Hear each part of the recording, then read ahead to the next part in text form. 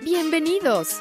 Welcome to the Learn Spanish con Salsa podcast, the show for Spanish learners that love music, travel, and culture. Close your grammar textbooks, shut down the language apps, and open your ears to how Spanish is spoken in the real world. Let us show you how to go from beginner to bilingual. Here is your host, certified language coach, Tamara Marie. Hola y bienvenidos. Welcome to episode five of the Learn Spanish con Salsa podcast. In this episode, we're going to talk all about language exchanges and how you can really use them to improve your Spanish conversation. Now, if this is the first time you've heard that term, a language exchange is just an informal arrangement between two language learners to communicate in each other's target languages. So, in this case, if you're an English speaker that's learning Spanish, you would find a Spanish speaker that's learning English to have a language exchange. And the way this usually works is you'll spend about half the time communicating in English and half the time communicating in Spanish. That way you both get to practice the language that you're learning. And that's just a rough guideline. It's not strictly 50 50. But for the language exchange to be useful for both people involved, you want to make sure there's enough time spent communicating in both languages. So, before I talk about how to get the most out of a language exchange, I want to give you a few scenarios where a language exchange might not be ideal for you. So, first, let's make sure this is the right strategy for you, and then we'll talk about how to make your language exchanges effective. Now, a language exchange may not work if you're a complete newbie to Spanish. It's important to remember that a language exchange partner is not your teacher and they really aren't qualified to teach you the language from scratch. So you should be prepared to have at least a basic conversation to start a language exchange. And that could mean that you just know a few basic greetings and how to ask and answer a few questions. But it's really difficult to start a language exchange from scratch if you don't know any Spanish at all. A language exchange is also not ideal if you have some very specific questions about grammar or some of the more complex features of the target language.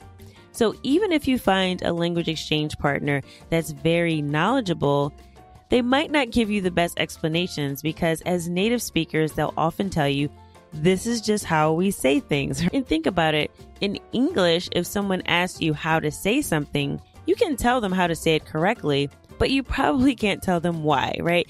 You're probably not going to get into, oh, well, this is an irregular verb or this is a phrasal verb, and that's why we say get up or get out, right?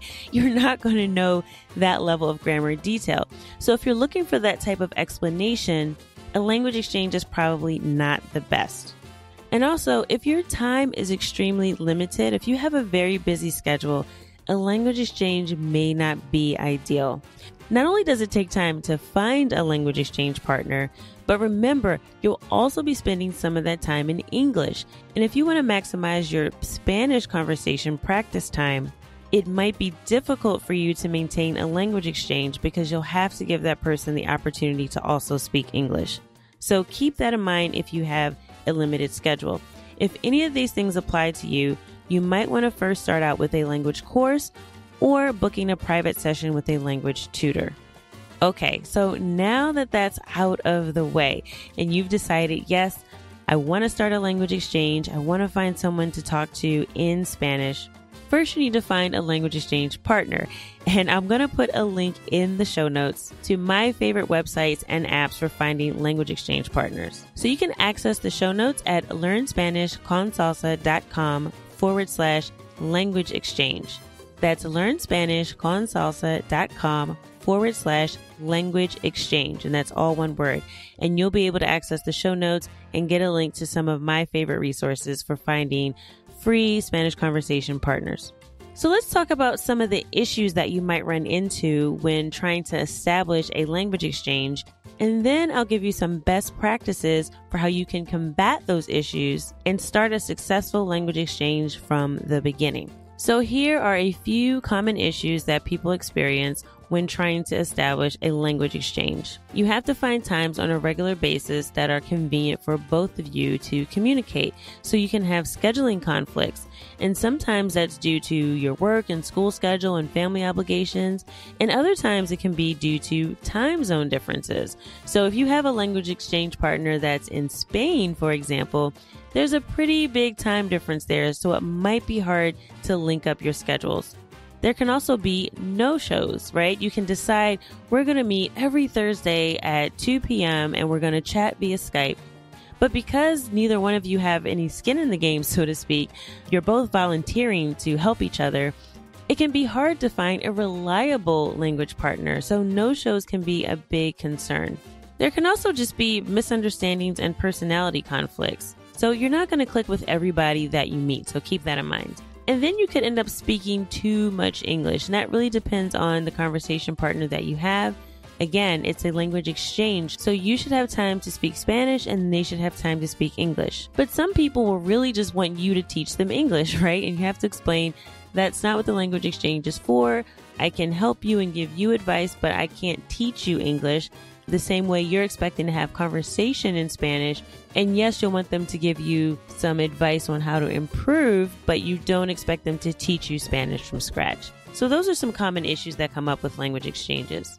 Now, some of the benefits of a language exchange is that you can practice in an informal and non academic setting. So you get to talk to real people that speak Spanish without it being filtered by a teacher or a textbook. You can also get exposure to a variety of different speakers. So, one thing that really helps with your conversation skills and even your listening comprehension is being exposed to people with different voices, high and low pitch voices, different accents people from different countries and cultures, and even getting used to male and female voices. That can be difficult if you're not used to speaking to both genders. So, language exchange is a great way to meet people from a lot of different places and to get more comfortable with your Spanish conversation. And you can have someone pay attention to you as you're speaking Spanish and point out any mistakes that you're making. And that feedback can be very valuable especially because when you're in a social situation, you probably don't want to ask your friends to correct your grammar. So, a language exchange is a perfect opportunity to do that. So, a successful language exchange has some give and take. You get adequate practice in Spanish, and you're helping your conversation partner with their English. So, now let's look at the five steps to get the most out of your language exchange to really make it effective and a good use of your Spanish practice time. So, your first step is you want to determine the goals for your language exchange. And I have a worksheet that I'll include in the show notes that'll help you really identify your goals. The key here is to just be specific about what you want to get out of the language exchange. Step two is to identify the characteristics of your ideal language exchange. And this is good to do before you start looking for conversation partners. You need to think about ideally how would you like the language exchange to go. So, for example, do you want to have conversations once a week, twice a week? Do you want to focus on specific conversation topics? Do you prefer chatting on Skype or FaceTime, or would you prefer just sending voice notes on an app like WhatsApp? Do you want to also communicate with your conversation partner through social media or email or text in between your conversation sessions? And it's also good to identify how you would like to receive feedback. Some people don't mind being interrupted while they're speaking so that they can catch a mistake as soon as they make it and correct it right away. But a lot of people find that to be pretty annoying, and you'll want the person to wait until you finish speaking to then provide that feedback. So you'll want to think about what works best for you. And you also might want them to write out the feedback or tell it to you verbally. So think about those things before you start looking for language exchange partners. And you also want to think about your ideal conversation partner's English proficiency level. And there's a few reasons why I bring this up. Now, if you are a beginner, you might be more comfortable with talking to someone who has a fairly high level of English proficiency. And the reason for that is even though you're practicing Spanish, it can be a very painful conversation if you know very little Spanish and they know very little English it can turn into a situation where you just can't communicate at all. So I always recommend for beginners to look for someone that's fairly comfortable with speaking English that will still encourage you to speak Spanish. But if you are out of the beginner phase and you're more of an intermediate learner, I want to challenge you to find a conversation partner who has a pretty low level of English proficiency. If you're talking to someone who's very comfortable speaking English, it makes it way too easy for you to fall back on your English when you get stuck or you can't think of a word. You'll tend to just ask your conversation partner to translate it for you. But if you look for conversation partners that they're not very comfortable speaking English, then you can help that person more with the Spanish that you know, and you'll be less likely to fall back on your English because you know they won't be able to help you. So again, I would base this on your level, but think about your ideal conversation partner's English proficiency. So, after you've determined the goals for your language exchange and you've identified the characteristics of your ideal language exchange, then you'll want to go look for a language exchange partner. So, there are a couple of free websites. Uh, My Language Exchange is one that's been around for a while. You can also try meetup.com. That's another free site you can join. But with Meetup, you can find local events for Spanish conversation practice. So if you just search for speak Spanish or learn Spanish in your metro area on the Meetup website, you can see if there's any upcoming meetups in your area for people who want to do a language exchange or just practice speaking Spanish. Now, there's also apps like HelloTalk and Tandem, and those are also completely free. And you can think of them sort of like the Tinder of language learners. Okay, maybe that's not the best analogy.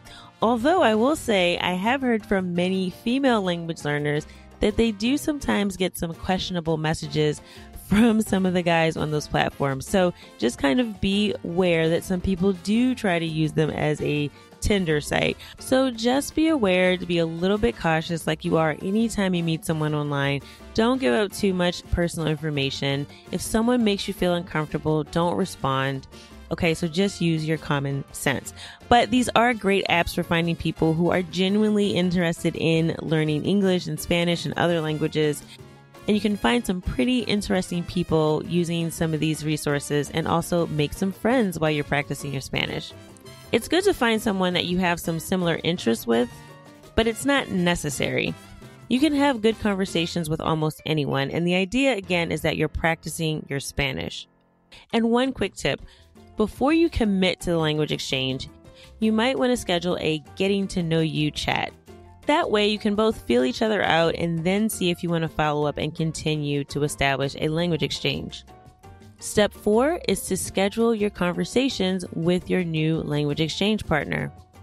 Try to set up a regular time to speak, whether that's once a week, a few times a week, every other week, whatever works for both of your schedules on a consistent basis. That way you get it on your calendar and you don't have to figure out the next time you're going to talk after every conversation. So this just saves you some time. And then finally, step five is evaluate your progress. So after you've had a few conversations, think about if the language exchange is really meeting your needs. Is your partner providing you with useful feedback? Do you feel comfortable talking to them? Are you getting enough time to talk, or is that person dominating the conversation? Are there some new topics that you can explore that you haven't talked about yet? So, really pay attention and evaluate if the language exchange is working for you. And as your Spanish improves, you may want to expand and have different conversation partners as well. So, those are your five steps to get the most out of your language exchange.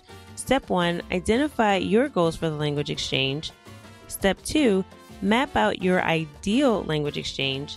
Step three, find a language exchange partner that meets those ideals.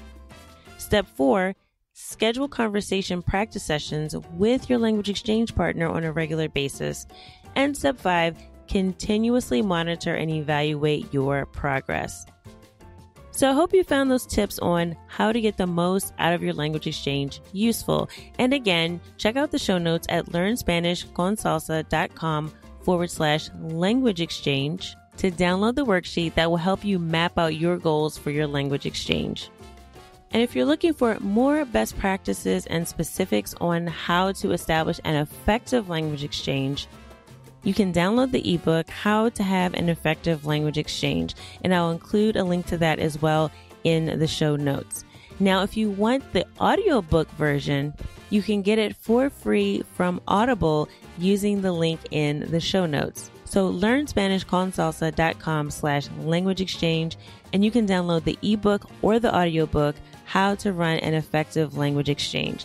That goes into a lot more detail and also provides some worksheets and some scripts that you can use when you're reaching out to a language exchange partner for the first time. And some tools that you can use to help you schedule sessions that take into account the different time zones around the world. So feel free to check out that book if you want to go further on this topic.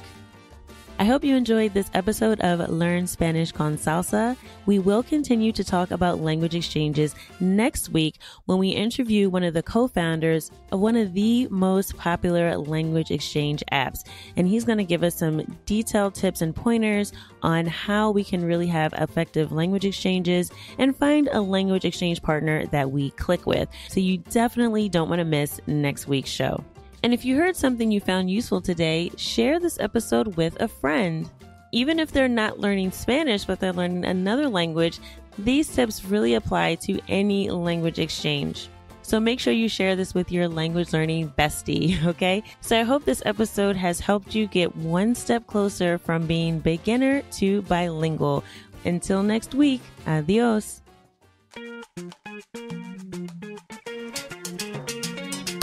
Thank you for listening to the Learn Spanish con Salsa podcast at learnspanishconsalsa.com.